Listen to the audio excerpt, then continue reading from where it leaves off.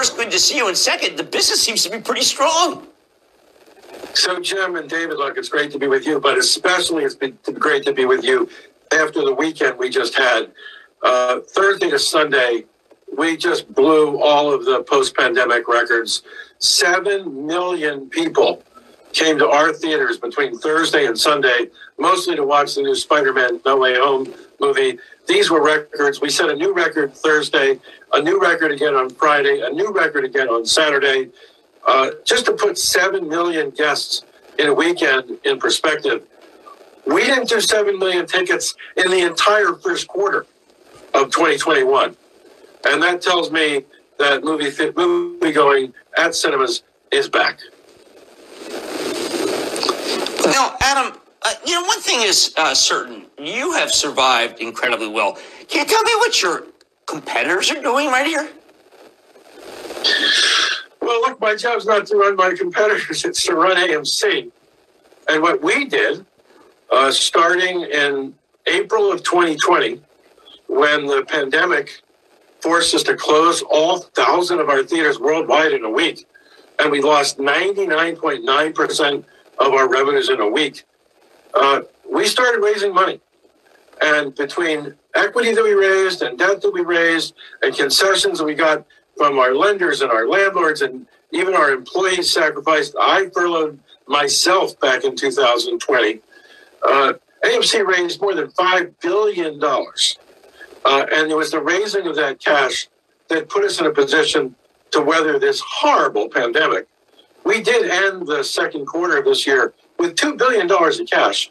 That's the biggest war chest that AMC's ever had in our 101 year history. Now, I, I don't want to uh, leave some of our more critical viewers uh, hanging. It is true that you and your family have sold a great deal of stock at higher levels. Uh, but also, I think that you made that very clear that you would do that. Can you just go over what you did uh, and what else you have? Sure, I'm, I'm happy to because I think I've been more transparent with the market on this subject than just about any human being alive.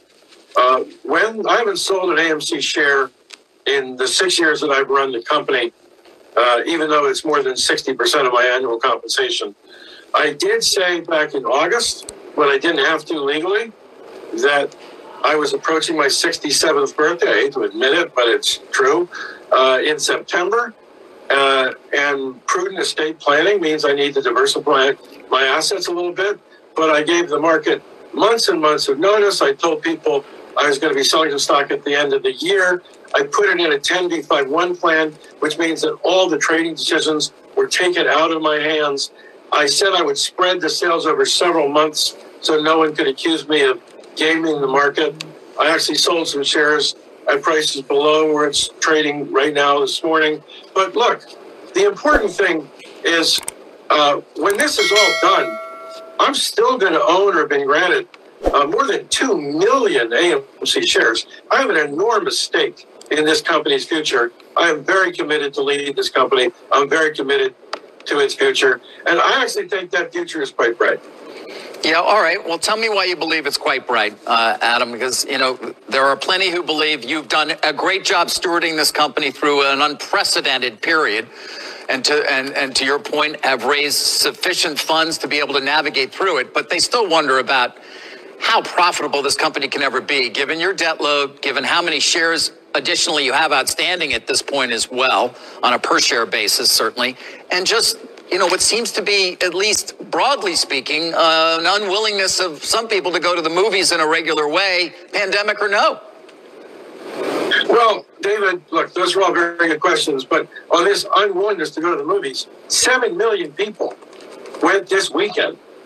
Uh, and it was a record for us. And it was a record on Thursday. It was a record on Friday again. We broke the Thursday record. On Saturday, we broke the Friday record. It turns out Spider Man No Way Home as the third biggest opening weekend in the history of cinema.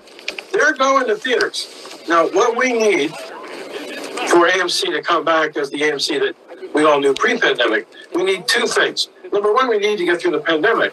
Uh, and we are making good progress. 70% of the US population has had at least one vaccination so far. Uh, beyond that, though, we need new movies to be released.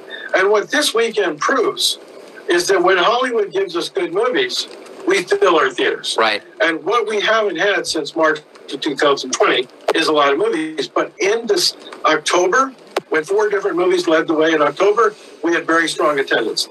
In December, when there are lots of new movies out, we're doing fine. When we mm-hmm. look at the movies that are coming in 2022, we think that the industry wide box office in 2022 will double the industry box office of 2021. Look, nobody knows for sure. No one has a perfect crystal ball, but there sure are a lot of big movies coming out.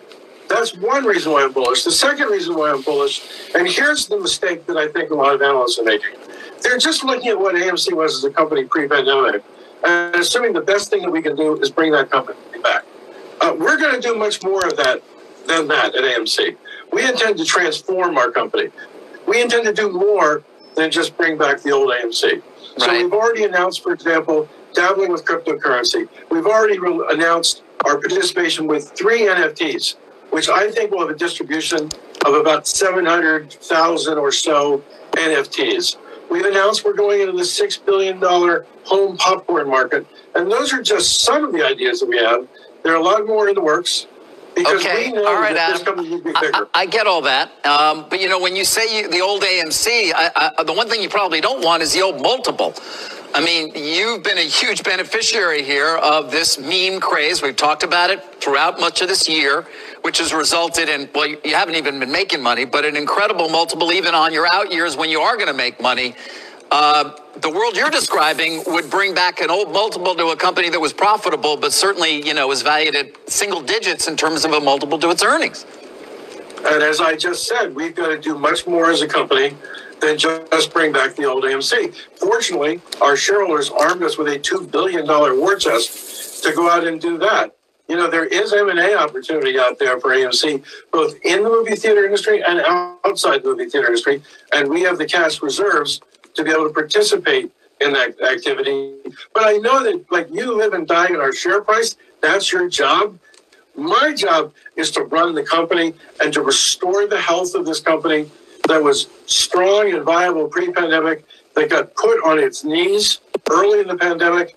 We've stood up tall, we're rising to the challenge, and I expect that the same management team that got this company through against all odds in the last two years is going to be very seriously focused on transforming this company and making it an exciting prospect in 2022 and 2023, 2024, and beyond. Adam, you've made a tremendous, tremendous effort to be in contact with your shareholders. Uh, it used to be 80% institutional. Now it's 20% institutional. You've got 80% so-called retail. Can you talk about how that may be a new paradigm and that there are other CEOs? I know you're going to say, I don't care about the other CEOs. Give me a break. Uh, that other CEOs should embrace what you're doing because it's actually been a new form of capitalism. Well, look, you're nice to say that, Jim. And look, I can only tell you this: somebody I greatly respect runs a half a trillion dollar private equity firm. Told me a year ago, when uh, almost a year ago, when we realized that retail investors had taken over AMC, that I was leading a company that is on the forefront of the democratization of Wall Street. And company executives have always talked to our shareholders, but we were used to talking to our shareholders the old way because we were talking to institutions. So we had quarterly earnings calls and we did non-deal roadshows and we, we talked to securities analysts. Well, in July, we announced that we had 4 million shareholders at AMC. And so we instantly decided, since companies always talk to their shareholders, we needed to continue to talk to our shareholders. Where do you talk to 4 million retail investors? On Twitter. And I've tweeted an average of 20 to 25 times a month now since April. My tweets have been read something like 170 million times since April. Uh, I'm following 2,500 people, which a lot, which gives me literally hundreds, if not thousands, of inbound messages a day. A lot of which I read every single day. So there's real two-way communication between AMC and our company's owners, as there properly should. We set up a program for them in June called AMC Investor Connect, and we gave them goodies like free popcorn. But we also are giving them direct access to the C-suite we're communicating with them by email every several weeks. And look, I do think this is going to be, we're, we're certainly leading the way here, but, and it's uncharted territory. But there aren't a lot of CEOs who have practiced tweeting almost on a daily basis. But I do think this is very much a wave of the future. And again, I think that AMC is leading the way. Well, thank you, Adam Aron. Uh, I do believe that what you've done is, I'm going to point blank, save the company. I think that a lot of people felt that the company would go bankrupt. I think you rallied people around it, and I want to congratulate you. Uh, David knows how I feel about that. Adam Aron, job well done for your AMC shareholders. Thank you so much for joining. Thank you, Jim, David, and 7 million people in AMC theaters this weekend. 7 million. It's a lot of people. We absolutely know that. All right, Jim's going to stick.